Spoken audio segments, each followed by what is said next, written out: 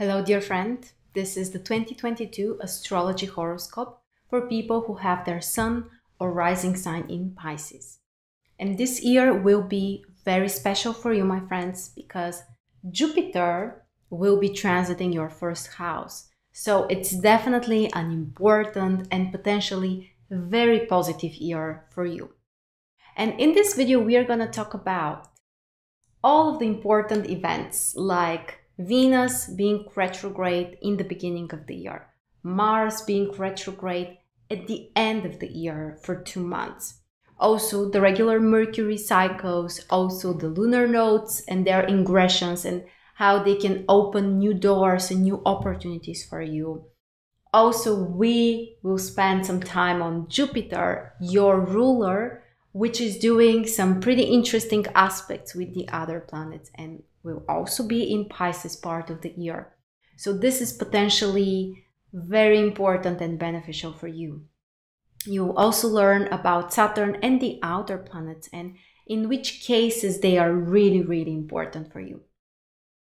And before we dive deeper into all of those amazing things, let me introduce you also to a brand new opportunity. It's called MarStars Membership. It's our new platform where you can join and you can access regular new webinars, Q&A sessions, new courses, plus access to all of my previous courses. And the best news is that we have a free trial, so you can just sign up and see how you like it. Check the link below or watch until the end of the video to learn more about this opportunity. And now let's get started with Venus, the planet of love, being retrograde in your 11th house, which is a very romantic and idealistic house. And this means that you may need to reassess all of those ideals that you may have about love, about friendship, about your community or the group that you belong to. And it's a great time for some internal processing of emotions or improving certain things that maybe are not working so well in this area, or generally for making a reassessment.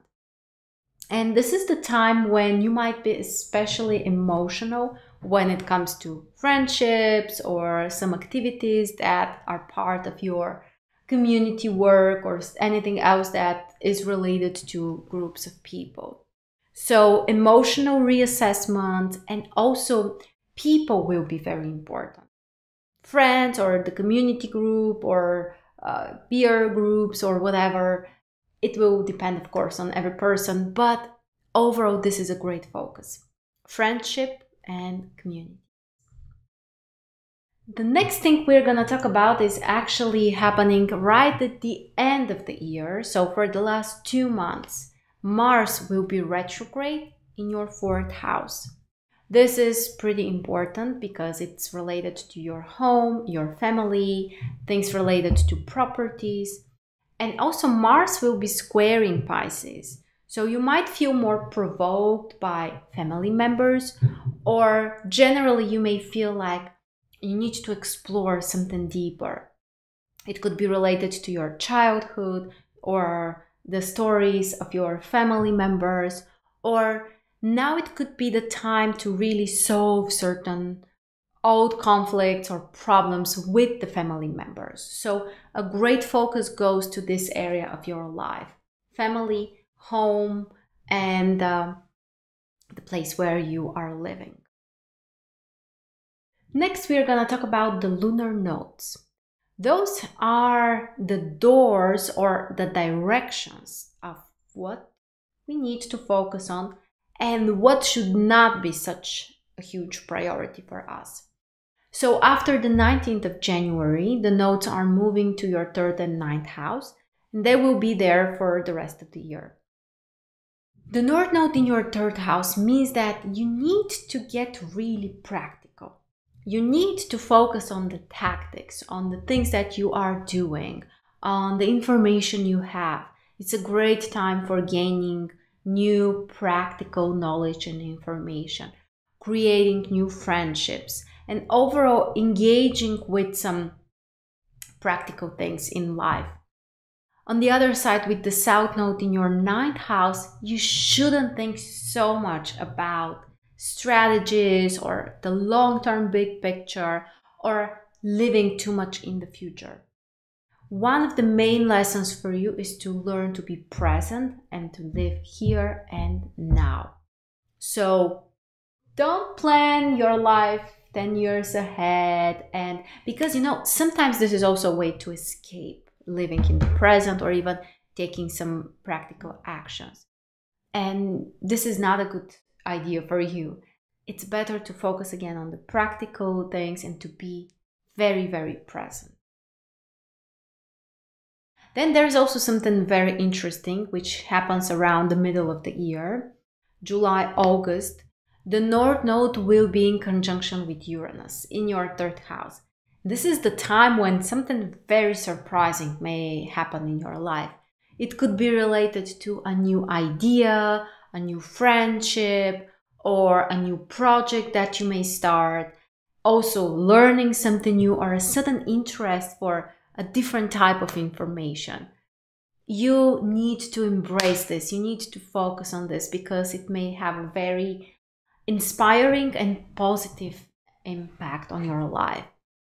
But you also need to be prepared that Uranus may bring something unexpected. It may come from friends or something in the closest environment, or suddenly you may need to change something about your daily life and your daily routines. So, again, being present, that's like very important for you during 2022. Next, let's talk about Jupiter one of the rulers of your sign and a truly amazing planet, which can be so beneficial, especially when Jupiter is strong. And that is the case during 2022. Between January and April, and then November, December, Jupiter is in Pisces. So it's a great time for self expression. It's a great time to start something new, to put yourself out there, to get more active, to believe more in yourself also. And you may succeed, you may receive more recognition, and overall, you may have a stronger sense of prosperity. So, this is once in a 12 year event. So, quite rare and important one. Take advantage, do your best, and have faith in yourself.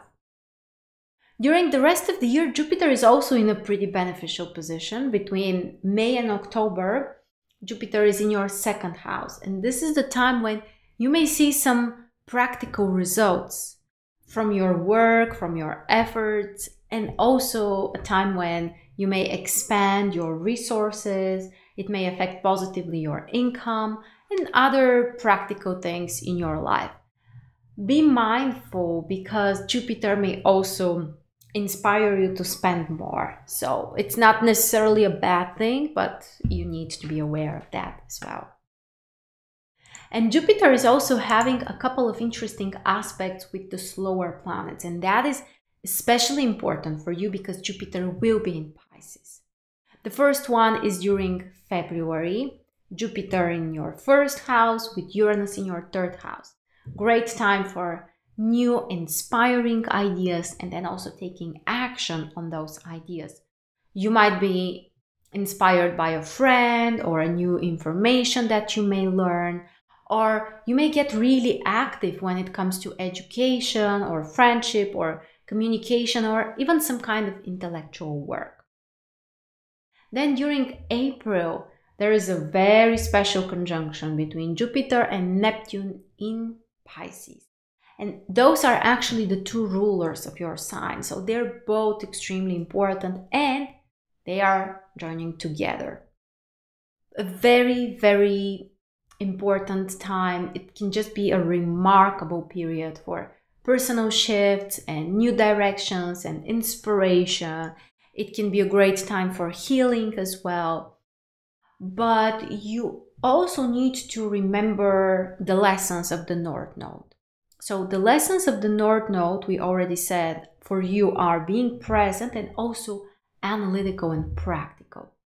Remind yourself about this because with Jupiter and Neptune, sometimes you may fantasize or have unrealistic ideas. That's just one of the possibilities. So, overall, I expect the aspect to be very beneficial and rewarding and healing, but we need to be prepared for the possible illusions or maybe unrealistic expectations. And the last of those aspects is happening during May. Jupiter in your first house with Pluto in your 11th house. This is a great time to do something together as part of a team or a community. Either sign up for a new club, or if you are already part of some kind of community, then this is the time that you can really connect and do something meaningful as part of this community. Even if you are on your own, you may focus on something that's important for your future or something very close to your ideals. So, those three months, February, April, and May, are especially important and beneficial for you. Next, we'll talk about eclipses, which are emphasizing even more the influence of the lunar nodes, which we already said are in your third and ninth house. The first eclipse is during April and it will trigger the north node in your third house. This is the time to really focus on some ideas and new inspirational visions, but also practical things. This is the time when also you may focus on the future your actions or your projects or the things that you put your time into can play a major role for your future. On the other side, during May, there is a lunar eclipse, which will be more about finding the balance between focusing on the future and the present. Again, with more influence, with more focus on the present. You might want to change some kind of visions you have, or beliefs, or even long term goals. Then during October, there is a solar eclipse which will trigger the south node in your ninth house. So, this is more about processing the past, letting something go, or looking at things from a different perspective. Your vision, your goals, your beliefs, even the knowledge and wisdom you have will be so important. And the last eclipse is during November. It will be again a lunar eclipse in third and ninth house with options to make changes in your present life uh, and the things that you are focusing on a daily basis. You may change some of your plans, some of your ideas, people you communicate with, or also some kind of intellectual project. So, again, we have this dynamic third, ninth house. So, present and future the practical mind and the philosophical mind.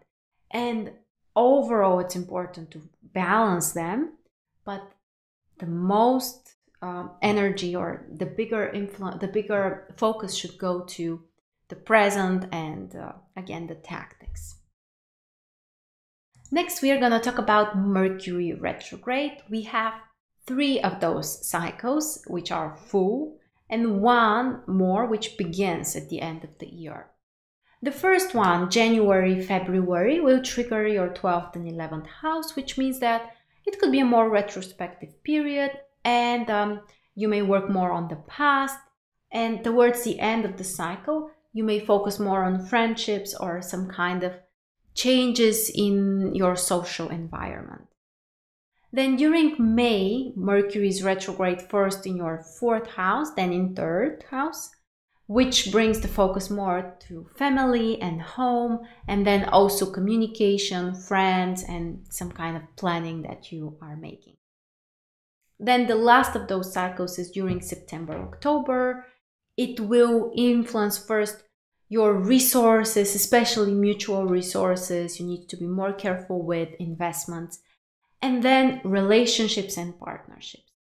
During those times, it's not recommended to start something brand new or to initiate projects which you want to be long lasting.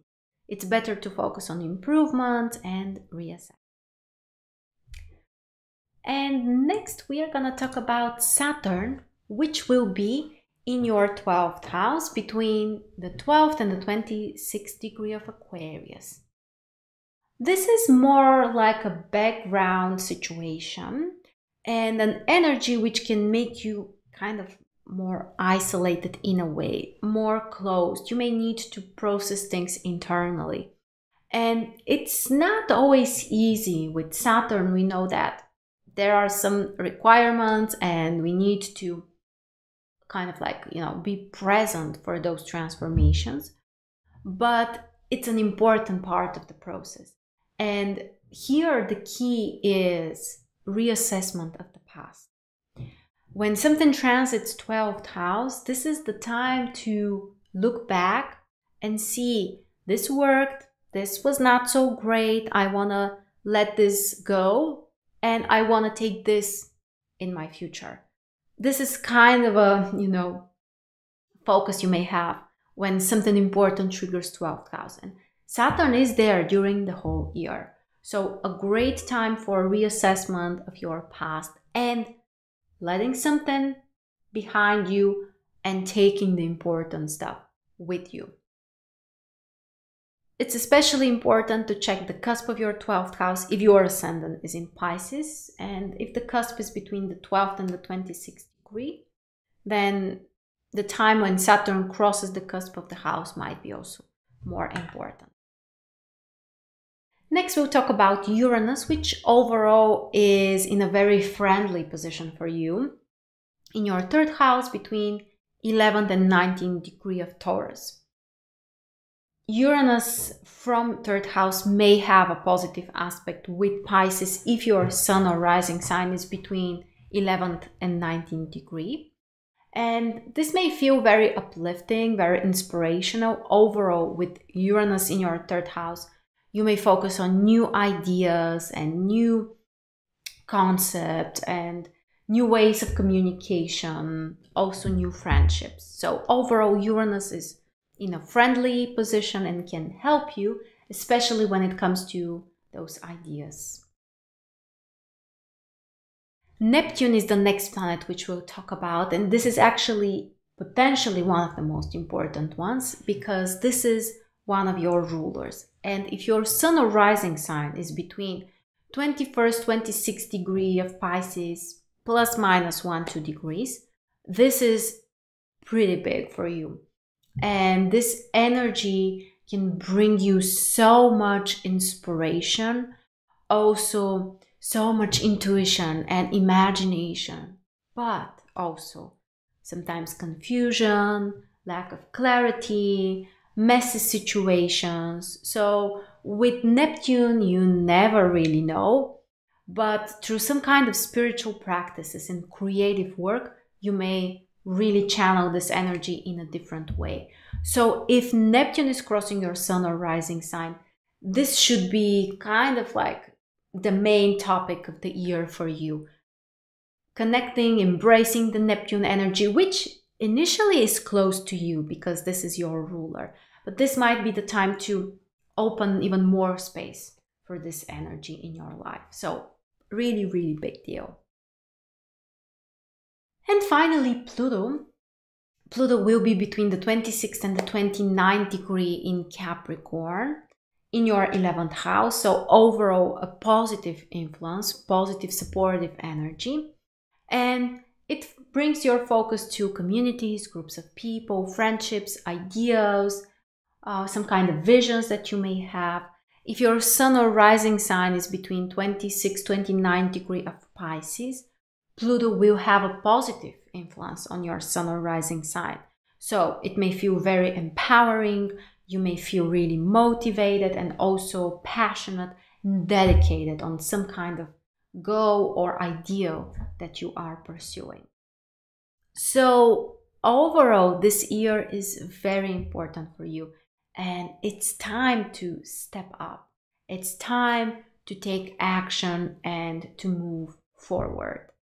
So, thank you very much for joining me, and I wish you an amazing 2022. Don't forget to sign up for your free trial for MarStars membership.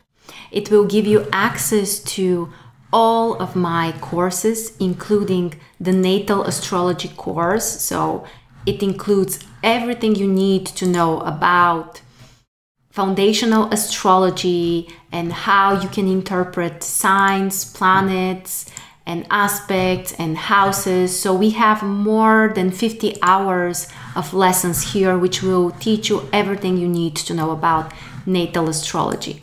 We also have karmic astrology course, which is a pretty extensive one and will help you to do more advanced readings.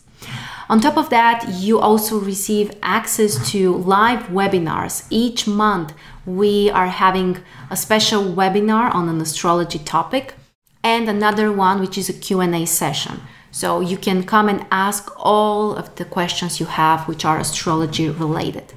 You get access to all of the pre-recorded courses plus the future ones. And there are other surprises like monthly horoscopes. We have our community and also other spiritual courses and energy practices and much more in the future. So make sure to check the link below or go to marstars.net and sign up for your free trial.